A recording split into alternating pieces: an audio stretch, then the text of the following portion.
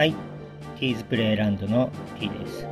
今日はちょっと緊急で撮ってるんですけれど、この台が、えっ、ー、と、スーパーセーラーサターンの台が BC できたんで、でワンパンできるんですよね、チケットで。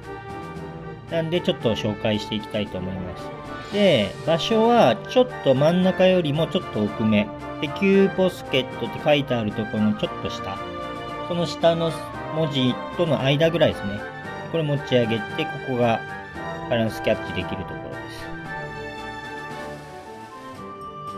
す。で、このままゲットですね。で、これは、えー、っと、真ん中に落ちてないんで、判定ならないんで、一応問い合わせて確認お願いして、で、また置き直してもらいました。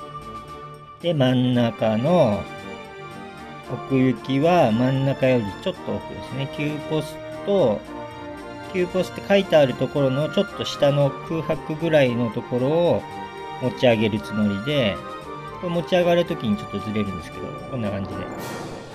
で、ここが BC できるところですね。で、これでゲットです。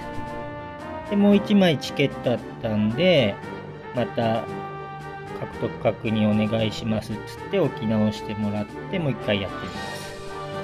まあ同じところ狙うだけなんで、難しいとかことないんですけど、ここの真ん中と、あと奥行きですよね。奥行きが、ここで、で、ちょっとずれてくるんですけど、また持ち上がるときに、あの、奥の方に行くんで、右アームが。なんで、ここでバランスキャッチできます。で、これ3連続バランスキャッチでゲットできたんで、でもチケットもなくなったんで、これで終わります。うん、台がなくなる前に試してください。それでは。